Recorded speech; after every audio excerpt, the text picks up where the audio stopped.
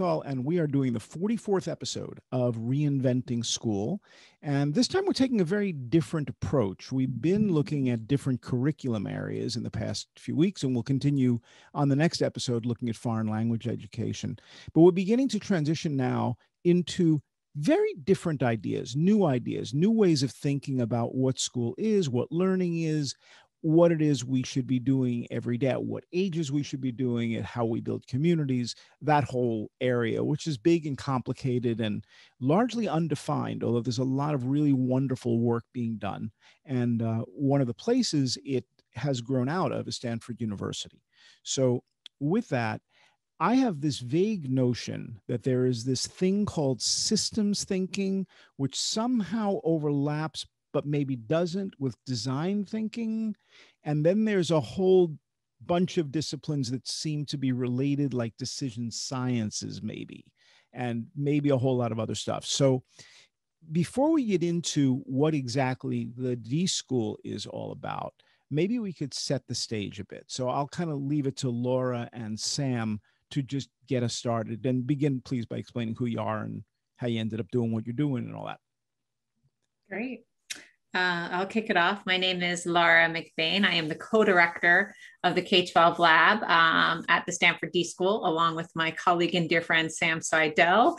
Um, and and we we work together to use design to discover and uncover needs in education and you and work with others to discover and solve uh, challenging problems in education and come up with creative solutions and so our job is really to figure out what can we do as human beings to uncover the challenges that are facing our K-12 system. And we use design, which is the process of talking to people, getting, finding insights, uh, ideating and brainstorming a lot of cool ideas, testing different solutions, and really working with people um, to uncover and really find out what the best solutions might be, might meet their context. And I've been a lifelong teacher and educator for about 20 years. Now, when you say design, you don't mean like graphic design. You mean like theoretical or systems design? Do I have that close? Sam, can you kind of shed some light? Uh, sure. Hey, Howard.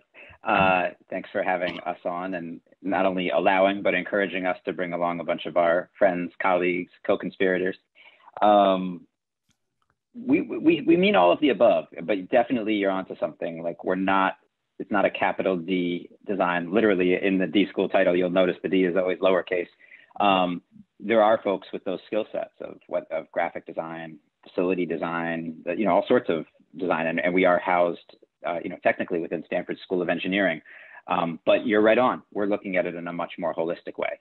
Um, we are looking at what it means to, at, at a systems level we're looking at that as Laura was starting to get into the human aspects of design, um, how we create experiences, and, and at sort of a, a base level, um, how we develop in ourselves and help others develop the creative confidence to tackle some of the biggest challenges and opportunities that exist in our world. Right. So in the K-12 lab, which is, as Laura mentioned, the lab that we co-direct, we're looking at these fundamental challenges to our K-12 system. The fact that um, the system is not working for the majority of students. The fact that there's racial disparity and racism embedded in the system.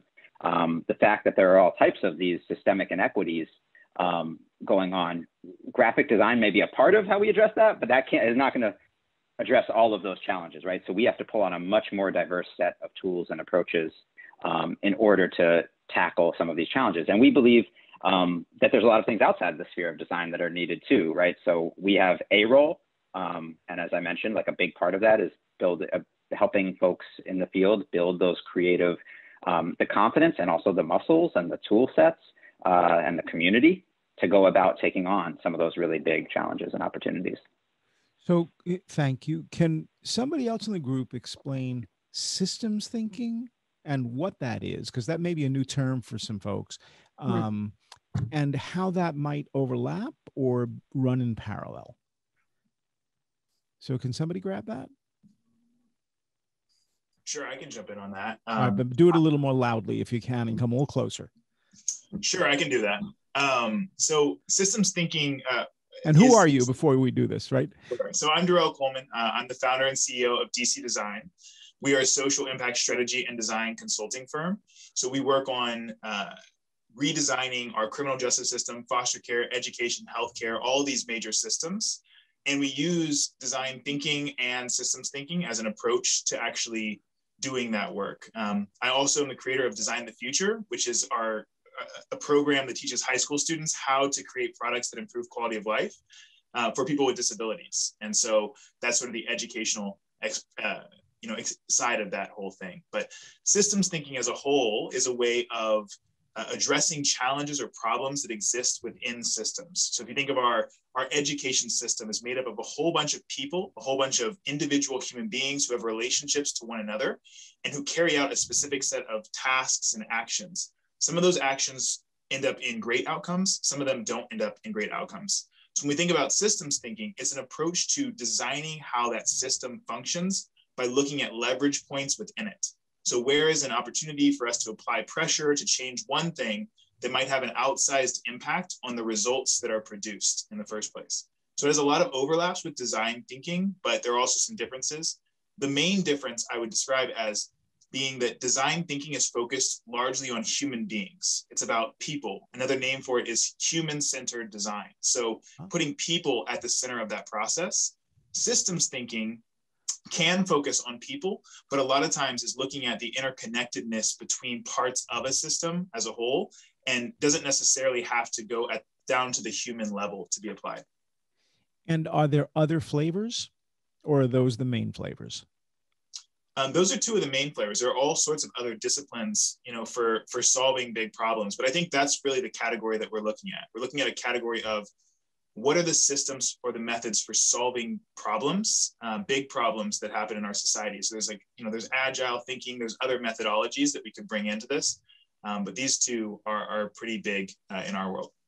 Thank you. So maybe somebody else can answer this really basic question. When somebody says, I'm a big picture thinker, is that code for I'm a systems thinker or something similar to that?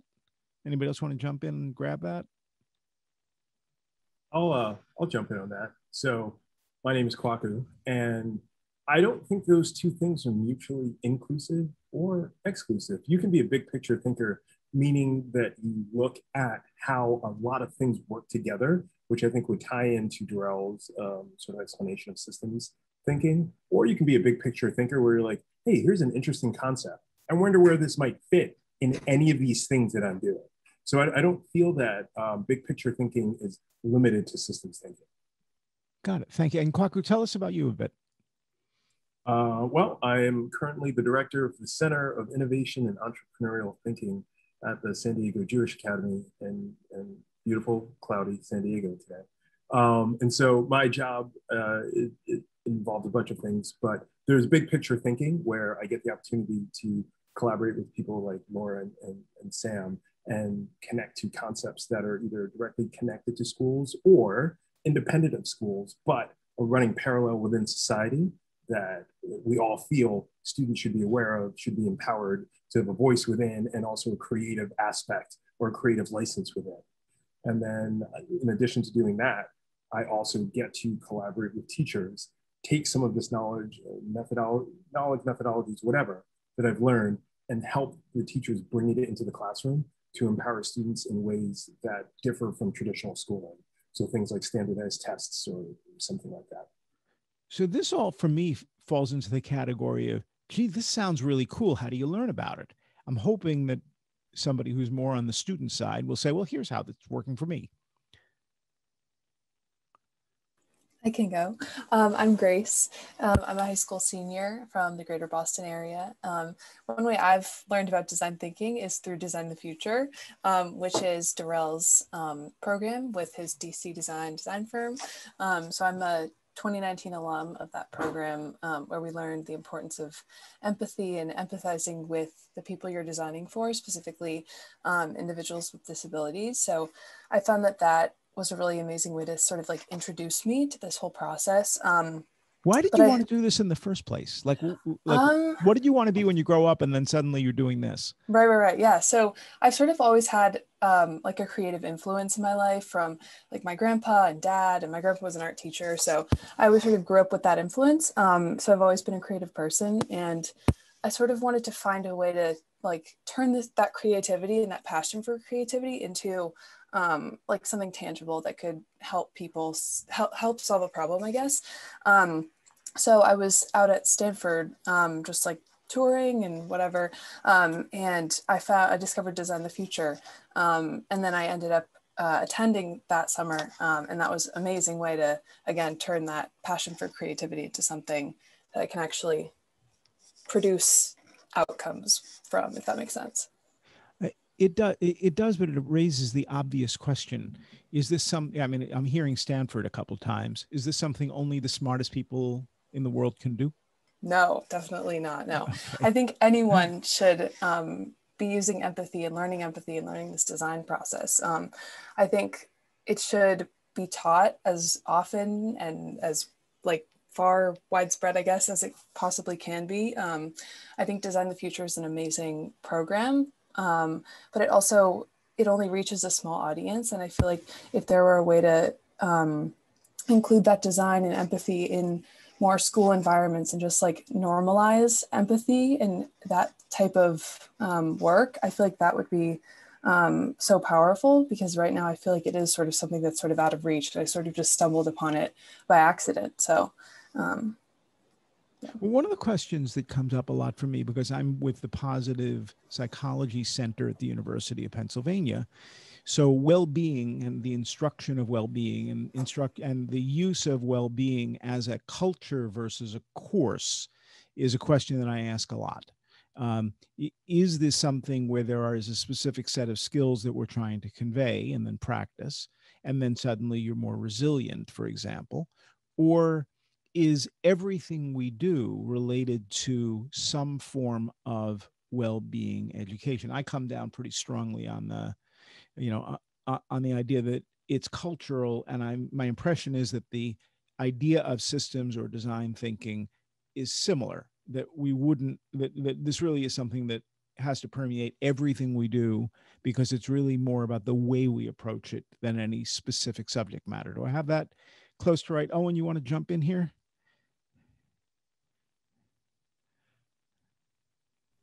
Yeah, of course. Um, yeah, you're absolutely right. So, um, yeah, and thank you again for having us on today. So, yeah, I'm Owen, and uh, yeah, I've participated in uh, Duos Design the Future and also a number of other programs at UC Berkeley um, focusing on design thinking. I'm a you know, uh, entrepreneur and um, particularly interested in designing uh, for people with disabilities and designing within the medical industry, the medical device industry. Um, and so really what, what you want to do, as you alluded to, is you start with a problem rather than a solution because, um, you know, in, in design thinking, there's a, you know, basically an infinite space of solutions, um, but there's a finite space of problems. And so really you want to define the problem um, from as many angles as possible before you even start thinking about what a potential solution might be. So describe a problem. Give, how would you define a problem is probably the more accurate, better way to say it. Yeah. So, I mean, there's a, I mean, so one, one problem might be like, you know, how do you get more users to a platform, for example? So, you know, you have this problem where there isn't enough users. And, you know, one of those solutions could be, you know, give free pizza to people that want, you know, another one could be like a financial incentive, like, you know, $5 for every referral. Um, there's a lot of these different, different solutions, but really the problem is how to get more users. And as you really explore that problem, you might find out, well, nobody knows about the platform. And so that is really a problem that, you know, you can address through, you know, like getting the word out. So, um, you know, starting at the, the free pizza solution wouldn't really solve the problem because people don't know about the this uh, platform in the first place. And often defining the problem, number one, is the most fun part of the process. Uh, uh, just mm-hmm. that, because you're throwing a lot of ideas around, right? But also, there's a real joy, I think, and a satisfaction in refining it to a point where you actually know what it is you're trying to solve. And i know that from my life as a as a senior executive at various corporations i would have to endure these hours and hours of meetings where it just like what is the problem you are trying to solve? I understand that we all have a lot of good ideas and you're all very smart and it's a table full of mbas and all that. I'm like uh, that's fine. But are you trying to figure out how to acquire customers or retain customers? And if you're trying to retain customers, do you try to retain customers across your whole customer base? Or are you trying to retain customers that buy a lot or are young or live in Idaho or are repeat buyers or tend to spend a lot? So refining it is a big uh, is a big thing. So tatiana go through well first we'll explain who you are but you've been shaking your head a lot. Uh, so give us a sense of what you're thinking about. Well i do agree a lot. Hi i'm tatiana. I am now in california but i'm usually in puerto rico where laura and i have our little trainings conversations. Um, so I really agree um, with one thing you said before too, Howard, about you know institutions and how we think about institutions nowadays, because a lot of the things that are self-intuitive and are things that will get us to be happier as people, more effective, more have more impact on each other, and you know more to the point with the needs we have to satisfy. It's kind of um, shaded by an idea of how institutions operate and how much we deserve as recipients of education and Owen, you know, said that design addresses a need, a problem, and I would I would add that it's also for challenges. Like getting a promotion is not definitely a problem or you know something negative there's so much positivity to solving and so much in using design thinking for good and for bad you know with the purpose to make better I would say I um, we did a program in Puerto Rico and we introduced design thinking and explorations classes and mentorship in schools. So, you know, anybody deserves to be part, you know, of problem solving because what the system has now done and we take for granted is that when you say the system, what system do you mean? Yeah. Well, most systems, um, educational systems that I've Thank experienced, because school. I was, yeah, yeah, I mean, it goes beyond school. I will say I was born and raised in Greece, and then I moved to California, lived there for four years, lived in Puerto Rico for two years. So I've an, an idea of what kind of other places look like, and all systems really focus on you know solutions because a solution gives some people that you know get paid to solve that for you an ability to earn some money for that but they give you a solution and if that doesn't work for you because you don't know what need you're solving for you have to go to the next solution yeah yeah, yeah. so you live so in a chain yeah, so let's see if we can pull this into a, a more and more a framework of school because that's what the series is about mm-hmm. but also an observation i've been working on a book uh, about what school how, the only sensible way to do school, which I don't think falls into the category of what we do now.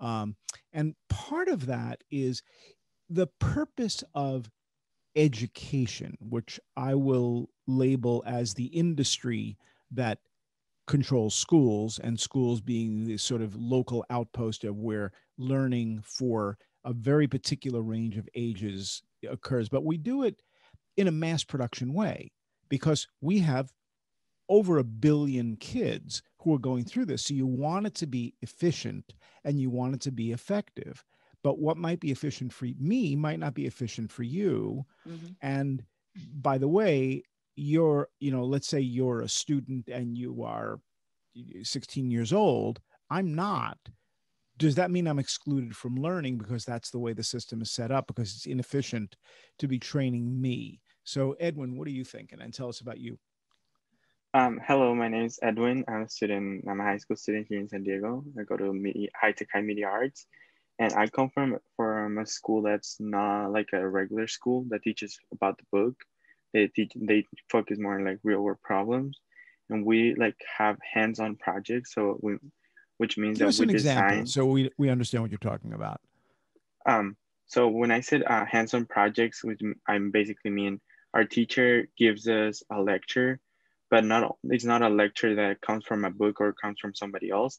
It's something that's happening in the real world that we all trying to fo- uh, focus about uh, on it, like my whole class, and we kind of started basically studying studying what like the meaning of the problem, but we started like doing projects about it, and it takes us like uh, a lot of time. Sometimes it takes us a whole semester just to learn about a small a small thing. For But what? since w- we- Give me an example of something you have worked on. um, something I have worked on uh, has been racism. Like last year, for example, when I was back in school, that I was like that I was uh, I had the opportunity to work with other people, like real close. Um, I work in uh, analyzing ra- uh, analyzing racism, which we basically did a whole exhibition about uh, like racism. We study where racism come from. We study like the roots of racism, and basically we would like do uh, uh, transmit it to people through a painting, through whatever we felt like uh, would represent us the most. So I feel that when I said designed, I call it's more like calling it learning than just designing something. Got it. Good. We have one more person who we haven't introduced, and that's Adi, right? Do I have that pronounced correctly? Yep, that's right. Yep. Um, my name is Adi. Um, uh, 2019 Design the Future alum. Uh, I graduated high school last year, incoming freshman at the University of Colorado Boulder. Um, and a lot of what I learned from Design the Future actually went towards uh, my keystone, I guess you can say, up until now. I co-founded a nonprofit um, in my in the KC metro area when the coronavirus hit. Um, that worked on mass producing PPE and donating those to healthcare workers all around the nation, um, from all the way in Oakland, California to the Bronx in New York. Cool. So, how is this different from a bunch of projects that are worth doing by groups of students here and there who are working together, maybe with faculty, maybe with community. Because what you're describing doesn't sound systematic, if I can throw it. It sounds like a bunch of really good ideas from people who care, um, who have some sort of a vision is there more to it than that or is this just a collection of those people Oh, of So- course. Um, I guess if we talk about group projects and just projects in general as they are today, um, we live in a very, very technical world. And when we get a problem to solve in a group project, we often look at it very linearly. This was a thing that I did all the time with engineering projects before Design the Future. You've got a goal and you've got a position that you're at right now. And sometimes it's about just finding the most linear path, the quickest path, and the easiest path to get to that solution. And sometimes you start to lose sight of everything around that. Um, what systems engineering and design thinking does is it forces you to kind of slow down. Think about the impact of your actions, and more importantly, think about how you can make your actions effective. Um, and again, it's more of a lifestyle. It's less of a just a, a engineering process. When I was doing design the future, we were working with a project partner who had cerebral palsy, and um, I was really I was essentially jumping the gun when it came to prototyping. I wanted to get quick um, onto actually getting to make the actual but project fail without quickly no Right, exactly. It, it you know you you iterate often, but you have to make sure that your efforts are being used mindfully and they're very deliberate.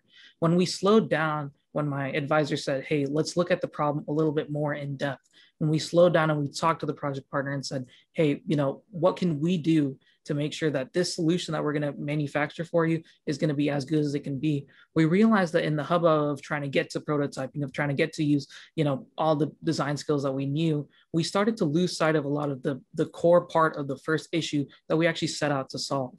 And that because of that, because we wanted to get a solution so quickly, we realized that if we had slowed down, we could have gotten a much more effective solution. And that's what we ended up doing.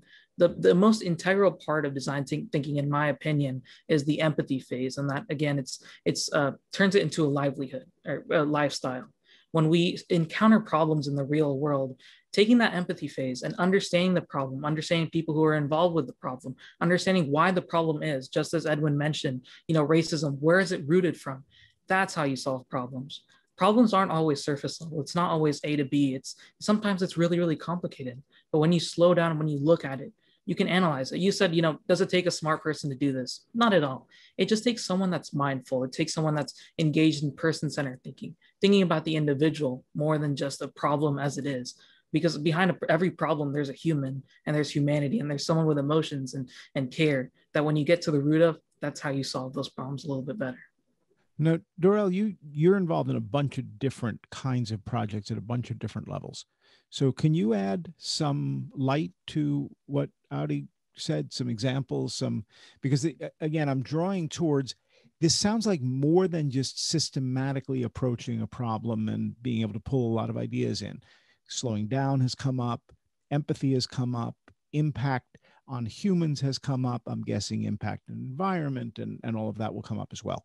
How do the pieces fit together and how does what you do, because a lot of what you're doing seems to be guiding people, yes? So yes. guide us a bit.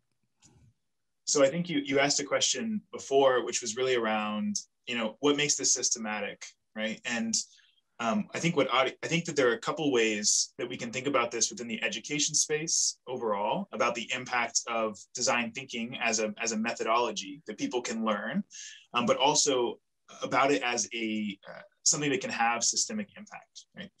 Um, so Design the Future as a program, right, was created, uh, I created the program, was, was created by DC Design, was developed in collaboration with the K-12 lab at the D School. And um, so it has that sort of common DNA, that, that sort of approach. And I think the common uh, focus in a lot of ways is thinking about what could what could schools look like what could k-12 education look like what could it look like if we were raising a generation of young people who um, not just didn't just believe uh, that they could change the world, but had the knowledge and skills to go out and do so. And so there's a couple of ways that I think about um, what we're ultimately hoping students walk away with. On, on one side, right, we are thinking about um, do you do you do you see other people? Are you human centered in your approach? Do you see the human beings who, who need help or who are asking for help? And are you interested? Do you gravitate toward actually helping them? Right? So that's one element of it.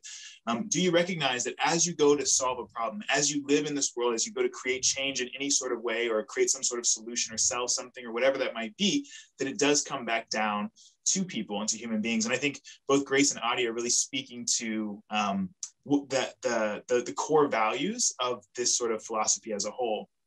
How it becomes systematic in a way or systemic in a way is that you know Adi took the inspiration and the learnings that he had from Design the Future, and then he went on to print over 8,000 PPE masks for people around the country, right? So there's a there's an element to um, thinking about this as a system that's embedded in that. Systems are made up of people who have roles and relationships to one another, who carry out repeatable repeatable tasks. So they carry out those tasks over and over again. In some senses, each person who comes out of a program like Design the Future or others that are teaching design thinking in a very hands-on way, it becomes one of those nodes that is producing those sorts of outcomes over and over again, right? So can begin to create an effect that is repeatable. Um, so that's one side of how this becomes sort of systematic as far as its impact goes in the education space.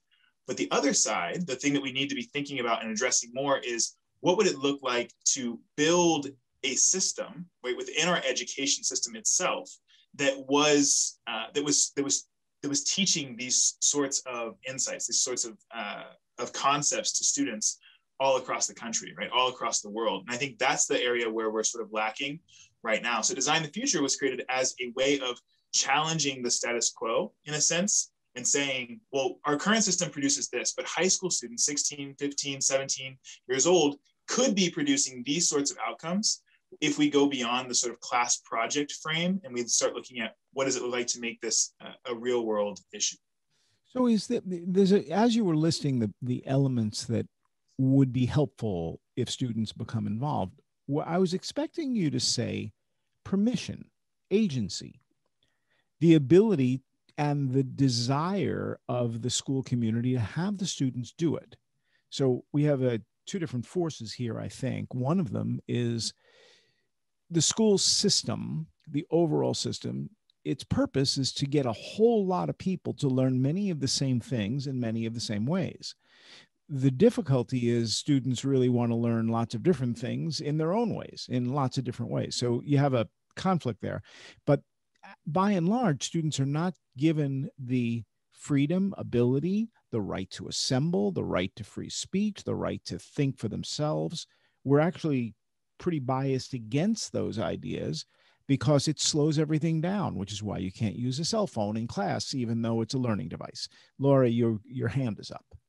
I never well, did that before, actually. We've done how many episodes? Nobody's ever raised their hand. So thank you. As I think that was from the students here. Like, I, they, they okay, right. As always. I think that's, I mean, part of I think that we're getting at, and I think I saw Edwin, you know, shaking your head, is that like part of the when what Darrell was talking about, right, is the systems and the pedagogy, but ultimately design is just is learning, as Edwin already said, is like it is how we learn. We learn through observation. Observing how we teach, though. Well, that right. That's but right. we don't know how we teach, but that is how we fundamentally learn, right? So we learn through observation, analysis, creation, and sharing. At our fundamental level, that is that is not design, that's John Dewey, right? That's like hundreds of years old. And so, really, part of what you're hearing from, I think, the young people, um, and again, you could call it design, you can call it project-based learning, you can call it progressive pedagogy. The name actually is not the point, right? That it actually is the processes in which young people are discovering the world. But I think more deeply, it is the process of which they're becoming themselves and finding out who they are and who they want to become so that they actually feel they can shape the world. And so, like speaking about, you know, a powerful project Edwin was talking about, like seeing, like understanding racism and the capacity to shape it and change it that is where we want our system to go. And i think as designers in this world I, I feel like very confident that if someone was really just taking up this work but they called it something else fantastic. As long as right those students and the experience and the communities are starting to see that you said that they see the young people not as um, containers to drop knowledge into right but human beings that they're co-creating and co-learning with right? Because we think about teaching versus learning. And really, ultimately, what we're trying to do is being learning together, learning alongside the teachers, learning alongside our peers, learning alongside our community. I love all that. And then I go into a school and I hear about state standards and I hear about tests and I hear about evaluation. Kwaku, you're in a position where you have it's not a public school, it's a different kind of institution that you're working with. Can you explain the dynamics of that, and then what what are on your mind? What's on so Howard, mind? it's interesting you say this because I've worked in charter, public, and now in independent schools. I've worked in three types of schools. And in fact, this the school I work for currently is a religious institution, so that would be the fourth. Um, and it was funny as Laura was talking, and there was a point you raised about agency. And I loved the example that both Adi and Grace brought up and it's something I've been turning around in my head for a while. Do we have to give kids a certain amount of time within any type of school setting to have agency to affect change in a world that they're currently existing in? I, I personally, I don't think so. And I think that speaks to what Darrell's uh, nonprofit works on the idea of empowering kids to have the tools and the process, specifically the human centered design process and the empathy to understand how to create that change now. With the, with the speed at which um, innovation, our world is moving, I don't think that kids should be put in a place where they have to sit on the sidelines until we say, all right, you've been doing this long enough, or you've watched us do it long enough. Now you can do this. But they do um, that all day long, almost everywhere. Now I would push ah. you. Who's they? Because it's not Edwin's K-12, K 12 students in the vast majority of public schools. So let's call that 50 million of the 70 and change million kids in the United States. But we're we've been very clever. We've spread our system, as has uh, Britain and other parts of Europe, all over the world. So the system that we have working not so well in the United States, we've managed to put into India. We've managed to put into so many. It, it all looks the same. Yep. And the rigidity, even though the individual teacher is like, absolutely, I give them as much freedom as I can, but I'm limited in what I can do. I've heard that in 20 different countries, in big schools and small schools, and private schools and religious schools and all that. There's this regimen that we have to follow, and mm. yet it fits almost nobody. So, uh, Adi, what are you thinking? Yeah, so I mean, I recently just completed my uh, my mandatory, as you could say, twelve years of schooling here, um, and I guess what what I found is that you you mentioned you know we have this issue where people um, don't realize that there's you you should they don't give students the time to go and explore things or solve problems on their own. Um, and i think the the reason for that is is essentially twofold. The first part and i think the most um, most important part is that we measure success just in our society in, in a tangible manner a lot of the most important skills I've ever learned throughout my life have been entirely intangible empathy and understanding how processes work. I can't measure that on a test. Like, you know, things like the ACT, they measure how good you are at test taking, but they'll never be able to tell anyone how good I am at, you know, understanding processes in the, in the systems or, or in our communities, understanding how I can solve problems. They'll never say that for anyone. But we as a society have, have grown to say these tangible measures, our GPAs, our scores are exactly what quantify us as a student. And until we move beyond that, until we realize that the most important lessons in life are learned outside of the classroom, are learned when do their own individual learning and individual seeking, then that's when we get to the next level of understanding. That's where design thinking is. That's where we understand what we can do with empathy in our communities. And that's how we solve problems. Uh, okay, good in theory. Sam, you're one of the people who's been involved in trying to spread these ideas. So you've got this school thing. You got a billion, a billion and a half, maybe a billion six or seven kids who are in K 12 education throughout the world. And we're beginning to push now towards 90% participation almost everywhere. Secondary numbers are 70%, 75% in some places. So pretty soon we're going to hit 100% or 95% and everybody will be going through these very standardized, systematized, high efficiency, low satisfaction approaches. So instruct us. Should we stay there? Is this something that happens within um, institutions because that's what institutions do? Or is there a starting place? And take us through the the exercise of thinking about this. And uh, I mean, you I, can you? I, I have a feeling you can hear me but not see me. Is that correct? That's true, but we can probably deal with that, I guess. Actually, you know sorry what? about that. We can't because this is going to be. We'll wait till you your video is up again. Laura, can you answer that for us, and then Sam will jump in when he's visual again. Sure. Sorry about that. Yeah, I mean, I think what we're talking about, you know, is how do we get people? What you're talking about is how you change the system, right? And I think one of the things I love Kwaku's point is who's they, because I, I started my career as a substitute teacher and I started teaching in a school that 3,600 kids. I taught AP European history. When you talk about high stakes tests, right? That was the environment that I started teaching in. And one of the things we have to start thinking about is where is the agency within classrooms? You know, there's this like mythology that school is efficient. I don't even actually know if schools are efficient. Let's just like, let me just call that assumption out. They appear as to be efficient, but they're actually quite inefficient systems. Um, and so part of like, I think starting to kind of changing the system, one is what we're doing right now is through stories, right? It's actually thinking about where the opportunities are that whether it's Tatiana in Puerto Rico, Edwin in San Diego, Kwaku in San Diego, you know, uh, Grace in Boston. But it's bottoms up. And That's, I don't, do you get systemic change bottoms up? It's a lot of scaling you have to do. So Sam, jump in on, good to see you back. Yeah, thanks. And sorry to disappear okay. right as you were asking me a question. Uh, the, the, wonders of technology. Um, I, it's a good question, and it cuts to the heart of the work that Laura and I are leading. And I, I think that the approach that we've taken is some of both.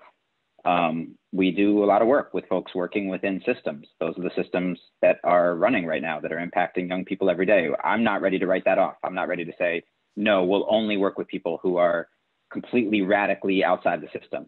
Um, at the same time, we do some of that too, uh, working with folks, you know, like Darrell when Darrell when you were starting Design the Future, you were, you know, you were it was a startup outside of the school system, and we we do see the value in that. We do need that, and then also working with the system leaders. Um, I mean, one of the one of the most recent projects the K-12 lab engaged in was called Reach for the Upside.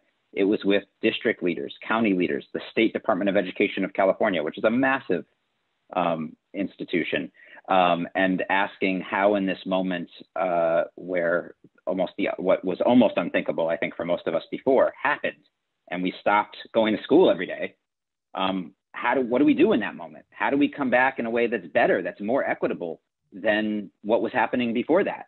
Um, and so our approach is like it's both and Howard. It's like okay. so we were working with leaders of districts, of counties, et cetera, of large nonprofits. Um, they were on design teams. So were students. So were teachers. So were community partners and and agencies. Um, ultimately, I think we need all those perspectives at the table to do the kind of design work we need to do. Um, so I would say, you know, we look at it pretty holistically and say to make the kind of change we want to make, we do. We need to be working sort of inside the machine, outside the machine. We need to be bringing people in with different perspectives of the machine um, in order to dismantle some of the, the harmful things that are happening, to identify where all of the really exciting opportunities are and where a lot of stuff has already been figured out and is being done well, but we haven't figured out how, how to like bring that to the system, you know, to the widespread systems level. Um, so, so bringing in all those perspectives is, is key uh, to our strategy and how we approach it. So, Kwaku, the uh, certainly everything that Laura and Sam is saying makes sense, but it feels more like we're trying to work not at a full systems level. Let me say it that way. It, it, we recognize that there are gigantic problems that happen every day that are enormously expensive and are not producing the results that we're looking it, that we're looking for. How do you even begin to think about systemic change on a large scale?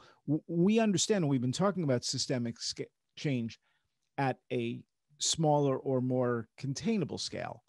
But is there a way to do this based upon what you've learned or really do you just have to do it one community at a time? And you know if it takes 200 years that's okay.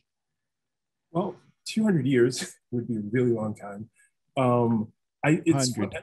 okay even 100 it is interesting because laura used the term myths and it made me it it it, it, it helped me to start thinking about this. I think what what you're looking for is how does this how do how does this change occur even more top down than all of the examples that you've seen today.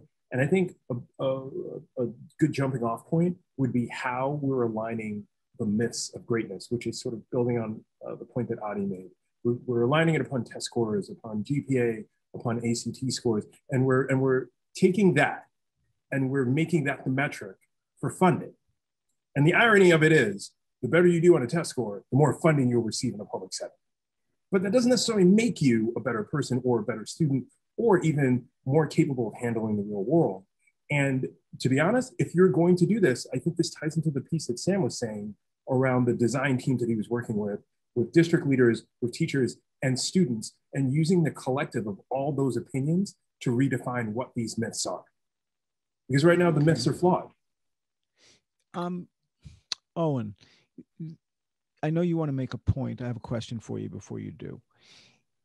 How has the system, as the sort of formal education system, served or not served you? Do you think generally it's been successful, or do you think generally it's been a flop? I, I would say, yeah, on on average, it has been successful. You know, I went to a, a public high school um, and then UC Berkeley.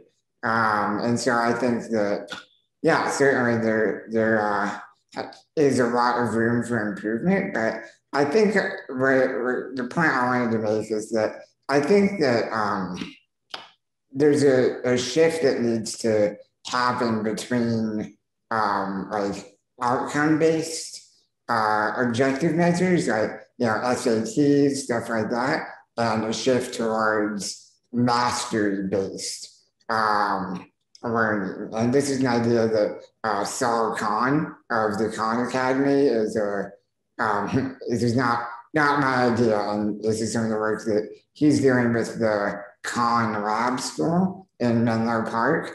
Um, but basically the idea is that, you know, the objective of learning should be mastery. It should be really understanding the material um, rather than doing well on a standardized test. Um, a lot of people have problems with standardized testing. Um, and you know, the question is, well, which part do you have a problem with? Is it the standardized part or the testing part? Um, and you know, it's like you kind of need some sort of standardization to have, uh, you know, an idea of you know who is mastered what, who is doing well at what.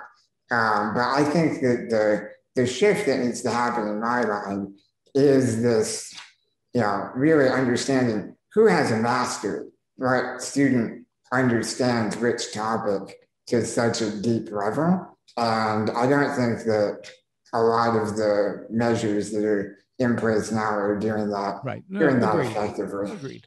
Uh, Tatiana, you've been trying to get in here. I'm sorry about that. Go ahead. All yours. No worries at all. It's actually getting better the more I hear. So um, it's just, you know, change. It always crosses my mind that change doesn't have to be radical to be important, you know? And change happens with with such small you know it, you know notice one thing and make such a small change and you see so much difference in everything you know even in education asking more whys and making it a safe space for people to answer and be you know be okay with facing the consequences themselves is enough because you, we usually see that students are afraid to face consequences because the consequences are laid out for them already before they even try. Yeah, yeah. So, you know, even understanding that, you know, nothing is said. Everybody has their own path. You go into it, you ask your questions, you do what you do, and you face what what comes after that, you know?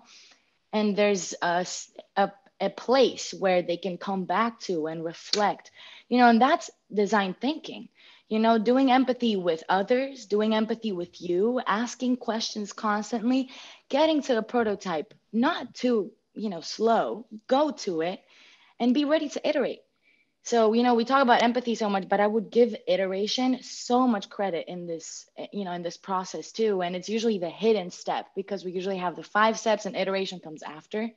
But iteration is constant and it exists throughout all the steps. And i think the d school has different visuals showing that iteration comes and goes and in circles and it's not a linear process.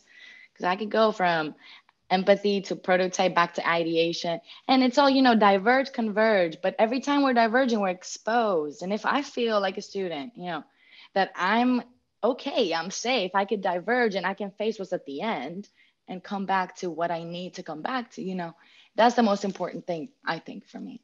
So uh, thank you. Uh, uh, Adi, uh, the discussion that we're having, is this a typical discussion for design thinking? Because it feels sort of all over the place, but it also feels very focused. So, are we experiencing something close to what you guys are talking about, or are we just kind of talking around it? Oh, of course. And I think you you mentioned this earlier. I believe it was Darrell that spoke on this. Um, it was about being, you know, having a, a big picture mindset, but also having like a, a more focused mindset. Um, and that's exactly what's going on through this discussion. We're talking about something that's so nuanced as, you know, standardized testing as, as school is, but we're also focusing on societal attitudes overall um, and how we approach um, just thinking in general. You know, I've been fortunate enough to have a congressional internship. I've seen the exact things that Tatiana is talking about, how people are resilient to change, even when they grow up to be full grown adults working in, in government positions. They're afraid of taking the risk that it takes to enact change. Because when we're, we're children, we're always taught about, you know, be creative, think outside of the box. But then when we get the opportunities to do that, they're they're confined in these outlines. Here's an assignment, here's your outline, be creative within this outline. That's not called being creative. That's not called thinking outside the box. That's giving you a pen and saying you can do whatever you want inside of it.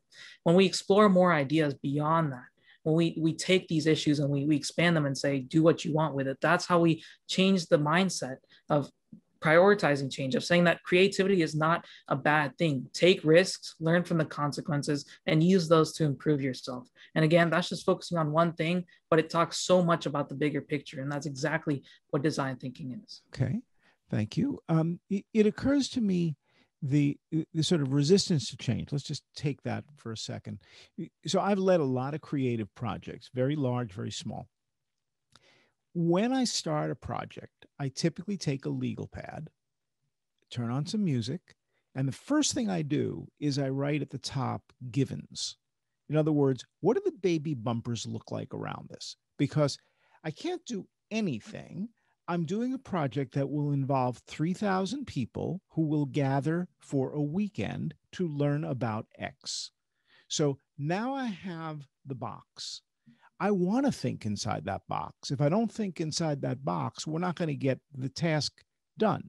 I can play around with the boundaries, I can try to extend it, but most of the work I do has to actually be what's necessary in my mind, in the client's mind, in the partner's mind, in the community's mind, whatever it is. And I have to be careful about the resistance part of it because I know I'm going to get resistance in any new idea or any variation on what they do. And at the same time, they hired me to do something that they don't, they can't do on their own, right? So, and they're asking me to integrate a lot of parts, and that seems to be part of this discussion too. So, Darrell, again, give us a little bit of. I mean, I, I I'm skimming off parts of this based on what I'm hearing from you. I'm riffing, but you know a lot more about this than I ever will. So, please. I think that I think your breakdown there is is 100% in line with the answer to your question around how do you create systemic change as well. So, um, and it, it, it is the design thinking way of solving these problems.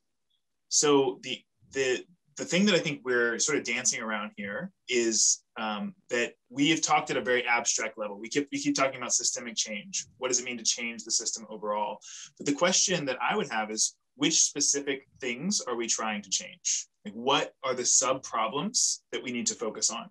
So the example you just gave is one where you draw a box around a sub problem. You say, this is what I need to focus on. There are people who are going to resist that. There are people who are going to be bought into that. And that's actually the way to create systemic change overall, because ultimately it comes down to power um, in the in, in in creating that change. So you you mentioned bottom up earlier. Can it be bottom up? Um, it can be if, but we need to recognize that every individual person, for example, every individual student in the United States has power to create change in the whole system if we want. Let's imagine that every student in the United States, let's make this like really concrete, wanted to change the US history books, wanted to rewrite the history books.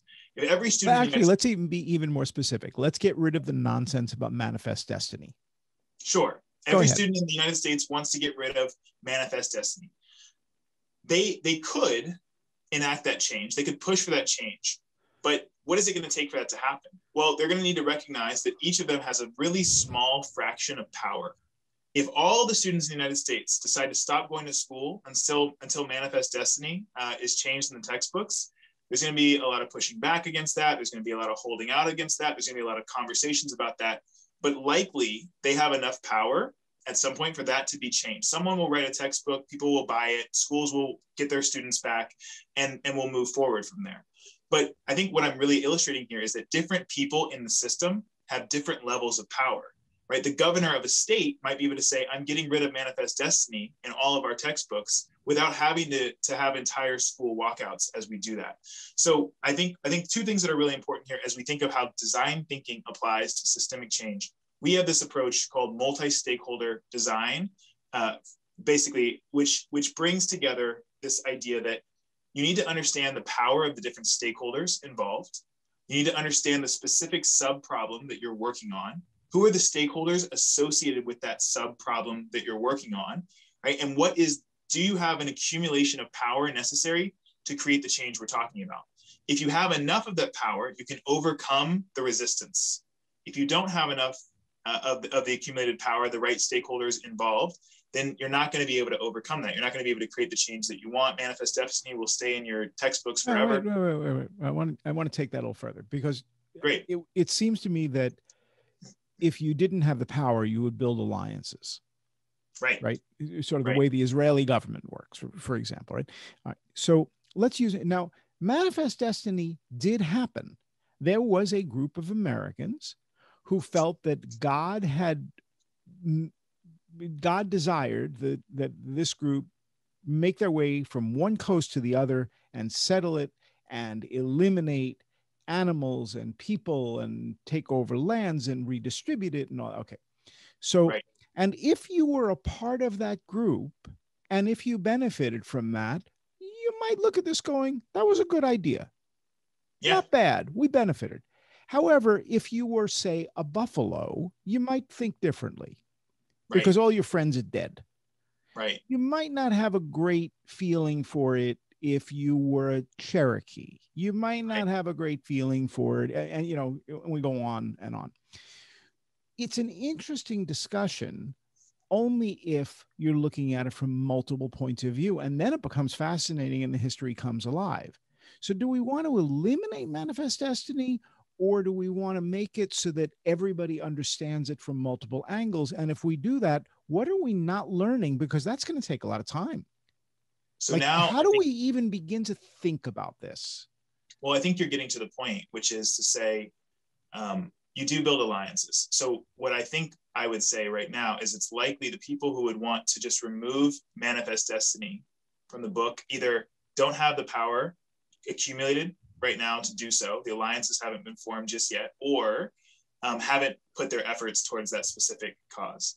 What's a like like what I would anticipate to be a more digestible approach, which takes in this multi-stakeholder approach, which says this is how you could form alliances, would be to say, let's change the nature of the solution, right? And, and let's let's backtrack into what is actually the problem here. The problem is that manifest destiny caused a lot of harm the problem is that manifest destiny uh, continues forward to be held as a really good thing when it's actually it was a it was a bad thing for a lot of people when it's a more nuanced conversation. So if we go back to the problem stage right where we're defining that and we're saying uh, that the actual issue is not maybe that it's in the textbook at all it's that it isn't nuanced. And then we go even further back and we say who are the people experiencing this issue? Let's understand their their challenges. They feel like they're being fed a false history, right? Then we can start to build an alliance that says, well, we are allied around addressing the problem of perpetuating this concept that manifest destiny was purely good. And then they can say, let's add some nuance to the chapters about manifest destiny. Let's add some uh, some additional history from other people who lived at that time. Let's add some first-hand accounts from people from the Lakota tribe, right, who who were forced off of their land, et cetera, et cetera. That's the way that I think you create systems change using design thinking it's by building these alliances but you need to understand where do people actually stand on this issue. That requires empathy which is what you know what grace was talking about earlier. It requires us to understand the actual stance of the different people who are making these decisions. It sounds great but it also sounds like it takes vast amounts of time it does. need to get pulled away from other activities which is delightful but i think you need then to say all right, everybody who's doing this, forget about 11th grade math because we're not actually going to do that. We're going to do multiple points of view in this one little tiny strand of social studies. Now, do we really want every 10th grade student to learn this instead of that? My thinking is no, you probably don't want that. You want a group of people working on this and a group of people working on that, but that means they're not all going to learn the same things. Oh my God, right? Like, it, can we possibly? Exist in a school environment uh, with that. So I want to go to Kwaku and then I want to kind of tie this together a little bit more. So please, Kwaku, yours. I actually wanted to push back a little bit on that last point because you're making the assumption that all learning is siloed. And so if you're learning more of one thing, if you're going into more detail into something, then that's taking away from the time that you would learn about something else. But learning doesn't take place that way in the way that societally we don't exist that way. We don't have, even in this conversation, we didn't set aside 10 minutes for math, 10 minutes to, dis- to discuss history. And then if the math conversation went over two minutes, now it's only eight minutes of history. you know, I understand your thinking where if you're getting this nuanced, what gets lost? Um, but there is, and I think even Edwin might be able to talk about this, what it looks like to be in a school setting where learning is um, is a little more fluid between subjects and and is more reflective. And it looks like Grace could uh, could speak to this as well. Cool, Edwin, all yours. Thank you. Um, I answering to this question, I feel that um, everyone in my school learns at their own level. So not everyone's learning the same thing. I mean, everyone's learning the same thing, but they're learning at their own pace. So if I am able to uh, understand the topic more quickly than my than my classmate, I'm gonna keep going with my with my like what I'm learning, and maybe go back and help my classmate understand what we're learning. That way he doesn't fall behind or she doesn't fall behind and we can like both of us can go together. Cool. Grace was yeah, I, I could talk about this a little bit. Um, I feel like I sort of um, come from like a different perspective. I feel like my school um, does really silo things, um, which is sort of frustrating. Um, like my, I go to Wellesley High School, which is in a suburb of the Greater Boston area, which is uh, it's on many lists of like one of the best high schools in the U.S. We just met um, your French teacher.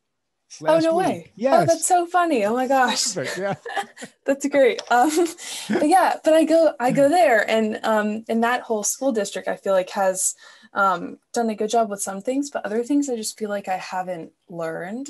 Um, like sometimes I joke around with my friends that I've learned more about real life from TikTok than I have from my own school um, because they're not teaching us the things we need to actually like survive in the world. Um, and I feel like I don't know. It just it's mind boggling to me that like the school that I go to is so siloed and so like test oriented and grade oriented, but we don't learn about everything else that we need to learn to survive and yet it's still ranked like one of the best. But also like how do you define that? And i feel like those standards really need to be updated. Um, yeah that's that's certainly the impression that i've had doing all of these episodes but um, more schools are set up that way. So I'm going to ask the question I might have asked at the very beginning of this uh, of Sam and Laura. So you got this like D dot school. What are you doing? And what did we just talk about? And how does it relate to what it is you do? Because clearly there's a lot of interest here. But w- explain to us now that we're towards the end of this. What do you do? Sure. First of all, I just want to thank everyone here because I think in some ways, Howard, the question has been answered because you're hearing from folks who have uh, connected with our work in one way or another. And that would be a whole other episode probably to go through person by person on this uh, Zoom and, and explain all of the points of, you know, where, what those points of connections are. But I think that you're hearing from folks um, in, in our network who are connected to what we do. So you've gotten kind of an organic perspective to put that into some uh, more like I don't know stringent buckets than than the very organic display or, or conversation that you've just been a part of. Um, at the K-12 lab at the D school, and, and we should mention we're one piece of the D school. Like you know, you're referring to the D school. The D school has a bunch of different programs that occur. A lot of the questions you have around systems thinking, there's actually an entire other program at the D school that we're connected to and um, involved with called um, Designing for Social Systems that thinks very explicitly about what those connections between social systems and design are.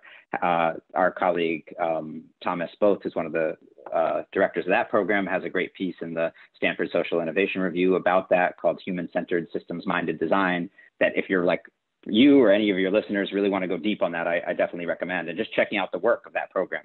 Um, but the K-12 lab, which is what Laura and I get to direct and how we've come in contact with the folks that you're getting to, to learn from and with today, um, is it does three kind of big things, right? Uh, one is we're at Stanford, we, we serve the Stanford community. We offer classes to Stanford students and often hybrid, you know, partial, you know, groups that are partially Stanford students and partially students from elsewhere. Um, we try to always teach those in an interdisciplinary way, bringing in both faculty and folks from outside Stanford who have different expertise than we do, um, and then other types of programming for you know for and the Stanford community and on the Stanford campus. So that's one kind of bucket of our work. Um, the next and probably the biggest bucket of our work is uh, offering um, design experiences, design trainings, professional learning experiences for students, educators, and leaders in the K-12 sector that probably primarily is, if you looked at numbers of who attends and participates in those things, is, is teachers, K-12 teachers. But it also includes, as I mentioned, students, school leaders. We had a whole program called School Retool for that for, you know, for many years worked explicitly only you know with school leaders, um, and then district leaders and systems leaders and folks in education philanthropy and if we, we could go through and share a whole bunch of different things, but trainings and learning opportunities for folks that are out there day to day working at various kind of grain sizes of K 12.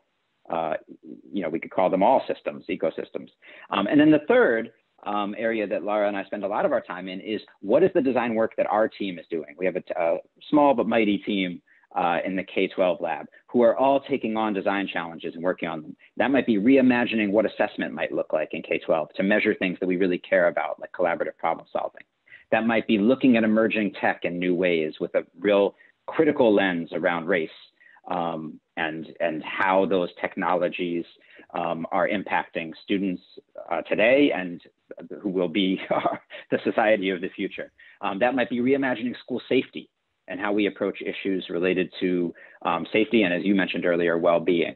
Right, and I, I could go on and on. Right, we have uh, um, an ongoing set of experiments that we're engaged in um, that we feel are things that need to be addressed in K-12 um, that might be a little sticky. That you know, all of which are being tackled in some way or another by folks in you know in the day-to-day in K-12 schools, but that we might really be able to contribute to in meaningful ways given where we sit, um, and collaboration with with folks who are doing all types of work on the ground.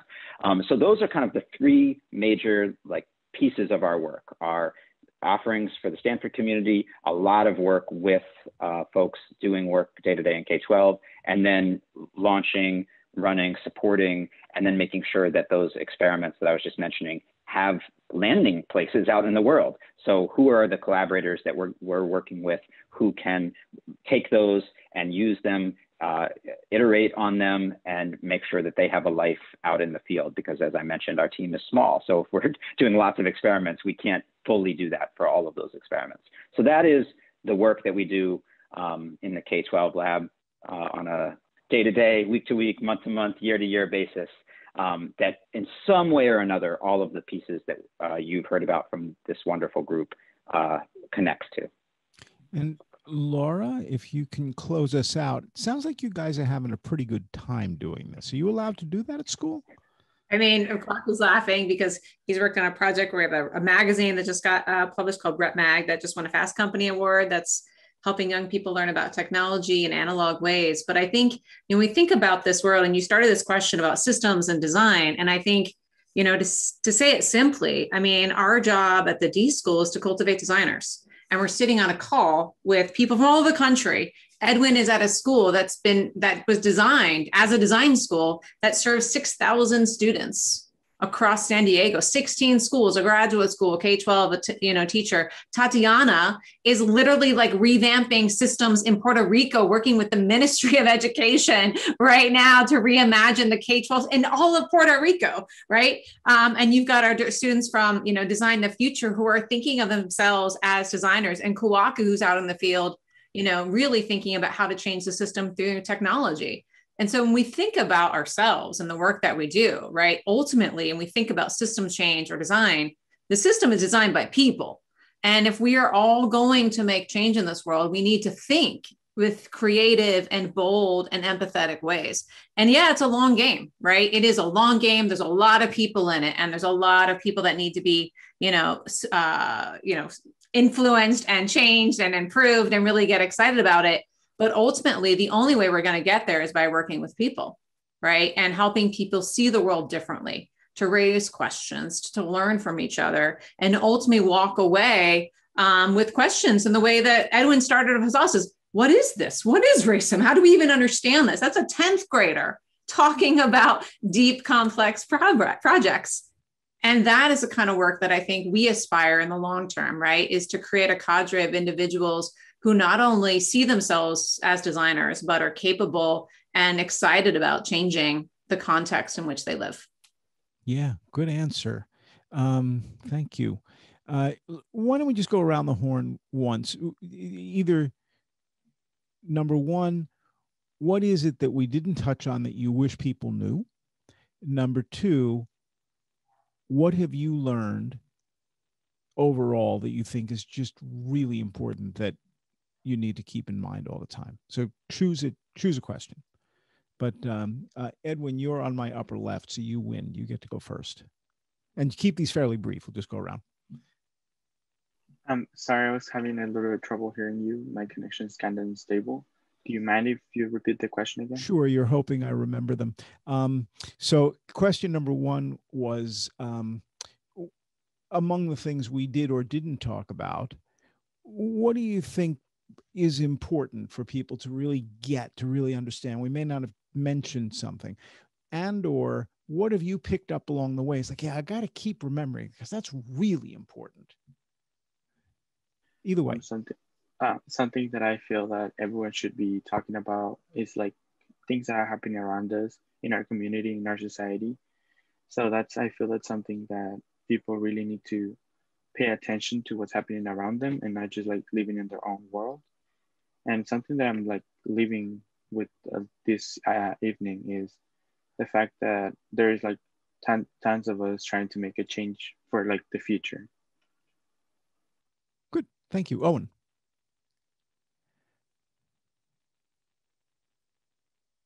You're muted. Yeah i think for me um it's really just about having uh, the first principles mentality. Um, I think just things change and evolve so rapidly um, in today's world that there's a, a new problem every time you, you know, solve another one, or sometimes there's like three new ones. And so um, I think it's really important to have that design thinking as you, you know, try to implement some of these changes to education. Um, you know, like, and trying to stay one step ahead, you know, like, okay, assume we're successful at this, well, what's going to be the next problem and how are we going to define that and solve it? Good. Thank you. Grace. Um, sorry, there's a dog barking outside. If you I have that. one too. Um, um, I think I'm just I'm all about empathy. I think I'm always going to say that. Um, that's just such an important thing to carry with you and make the active effort to learn how to be a better empathizer because I feel like everyone can always be a better empathizer no matter how good at empathy and teaching empathy you think you are. I think it's just so important that we practice that and learn what it is and learn how to use it and learn how to teach it also, just so it spreads as much as possible. Sam.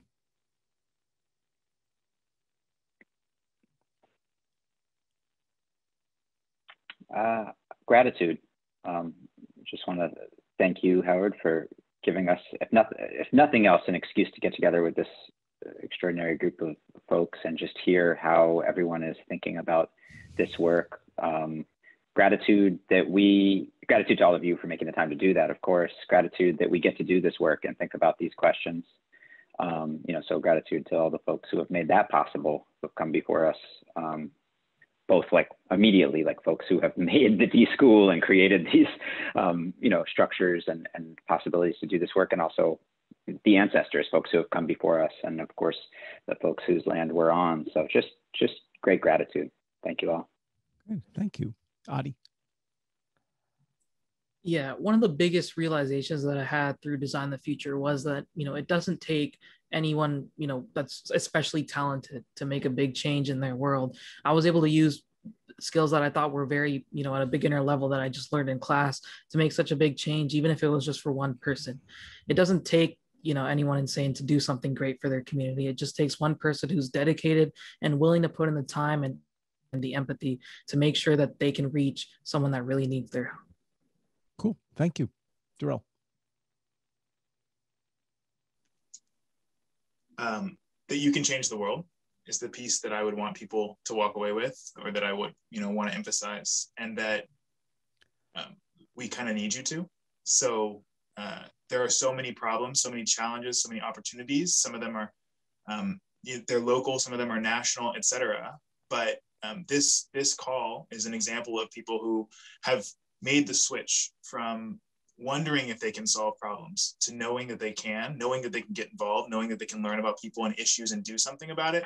And I think we need more and more people to uh, to believe in that. And so I would just say to anyone who's wondering if they can be like that or they can do that type of work, that not only can you, but um, there are issues that you care about, that you're close to, that you're the best person to actually solve and address. So we need you. Good for you. Laura. I got to follow that, Darrell. Um, um, I mean, ultimately, I think, you know, I just feel really grateful to have this conversation and to see, you know, following up that we're all, we're all designers. You know, we may not use that term, but you know we all are in the process of seeing the world and trying to make our change in the world and creating something that didn't exi- exist before and so you know as Darrell said I, I really feel gratitude for this group but also know that there's so many more out there like us that are doing it. They may not consider themselves the designers but they're doing the work. And i, I just um, want them to know that they're in this work. They're in the tent with us. And um, and then there's more to come. Kwaku. I'm going to kind of piggyback on Laura, um, but I, the thing I think that we didn't talk about enough that I'm so happy that I got to experience today is the, uh, the power and the agency of the students on this call who are driven by human-centered design and empathy and what their un- unlimited potential is can be like we're just we're just scratching the surface with things that all three of them discussed today and I just love seeing that. As someone who's working in schools, you sometimes get lost in the process. When you get to see it with kids you haven't even worked with, who are doing things, and you're like, man, that is amazing. You don't want to know what I was doing at your age. That, the fact that I'm really excited about what um, kids today are empowered to do and what they will be doing in the future. Tatiana. Well, you know, it's it's just one thing that most conversations like this kind of spark is that you know we're here say 10 people talking about uh-oh sorry can you hear me now yes okay. We're 10 people and what happens well we're talking about this and i can bet there are another you know there are thousands of conversations around the same topic. There are people that want to do this and if you go do about doing something with you know integrity and you want to do it you're passionate about it you can you know. I went to puerto rico and we know it was new but we said let's go let's do it and i figured out that's the only way to do anything you know there's no other way. There's no theory of what it would look like. Just you have to do it you know you have to dive in and you learn that you're never going to do it again or that there are another thousand things you can do on the same thing or something different. Just dive in you know and all of you here do it. So i bet there's a lot of people that are willing to as well. And a lot of them aren't high school sophomores. A lot of them are second graders and third graders. The lesson i keep bringing into all of this is don't underestimate kids. They're much further along than anybody right? So to me that's the you know as i'm listening to this i'm like i wish we had talked more about that too. Uh, anyway thank you all. Please hang out for a minute after the credits because i want to thank you all. Um, but uh, we would run the credits right now. We'll see you next time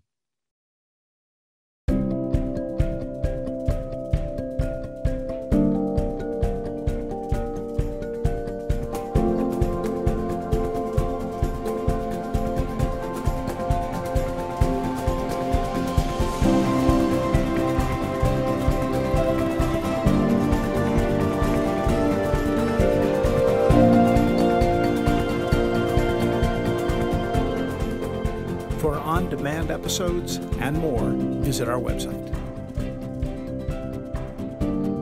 Kids on Earth contains hundreds of video interviews with students from around the world. Learning Revolution is a global collaboration network for people who care about learning. Be sure to join us next Thursday for a new episode of Reinventing School. Thanks for watching.